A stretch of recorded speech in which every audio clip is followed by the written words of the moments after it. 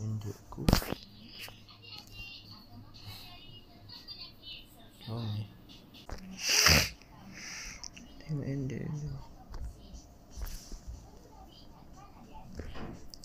일로들 하겠습니다.